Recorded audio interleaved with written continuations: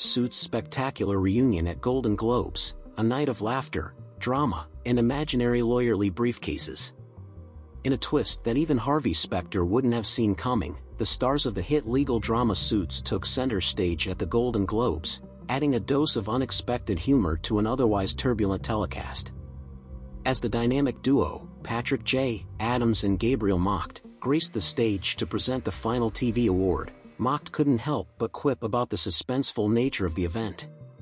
There's nothing more dramatic or anxiety-inducing than waiting all night to hear that your category is finally arrived, he declared, perfectly capturing the essence of award show anticipation.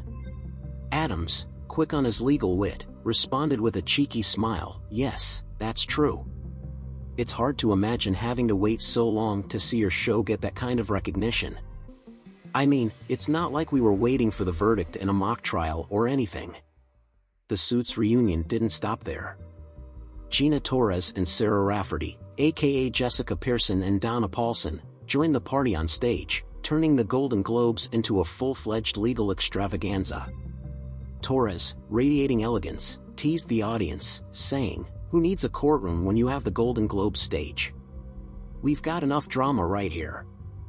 Before the grand reunion, Adams and Macht spilled some legal tea on the red carpet with Variety the topic of the in-development Suits spin-off surfaced, prompting Adams to playfully reveal, it's like a Suits LA edition. Picture us, but with more sunglasses and a laid-back attitude towards paperwork. Macht chimed in, our fearless showrunner Aaron Korsh is working on that.